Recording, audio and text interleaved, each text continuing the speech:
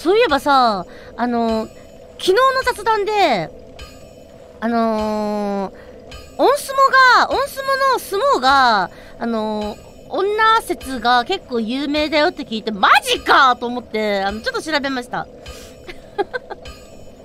あの、ちょっと調べた傍らで知ったんですけど、あのー、黒騎士の武器って、なんかデーモン特攻があるみたいな。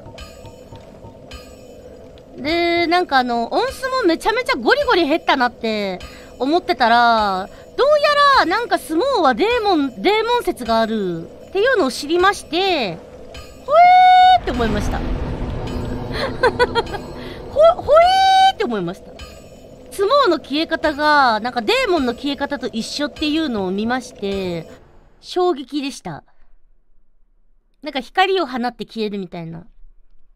だから、なんかどうやら相撲には特攻が乗るらしいっていう、その情報に感動しました。フレーバーでも匂わせてなかったっけ？スモール？スモーのソウル？ん？これ、匂わせてるか？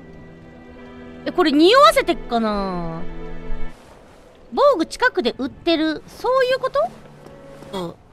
あ、あれ？あれ商人か？うまくなったな、ここのローリング。でも怖いよ、ここ歩くの。ここ歩くの怖いよ。いやあ、こんにちは。まさか人が来るとは思わなかったよ。お互い物好きってことかな？うんうん。なんでじゃあここにいるんだろう、この商人。あ、あ、ほんとだ装備することすらも、こともできるが、正直いろいろと無理があるようだって書いてあるけど。む、無理があるようなんだけど じゃあ人じゃないんじゃねえのって話？これさ、相撲の、相撲を倒したから、最後に倒した相撲が装備で手に入るだけ？オンスタインをさ、最後に倒してたら、これ装備オンスタインになるのかな？わ、オンスタイン欲しかったな。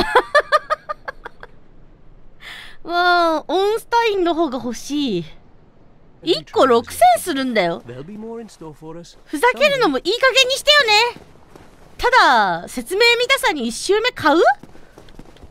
ああ ほら、みんながこそういうこと言うから！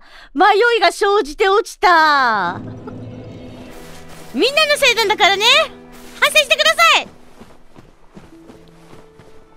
ブルブルブルブル I really appreciate it. Oh, where I can I can bow to you to express my appreciation. Thank you. Thank you. Thank you. Thank you. Thank you. Thank you.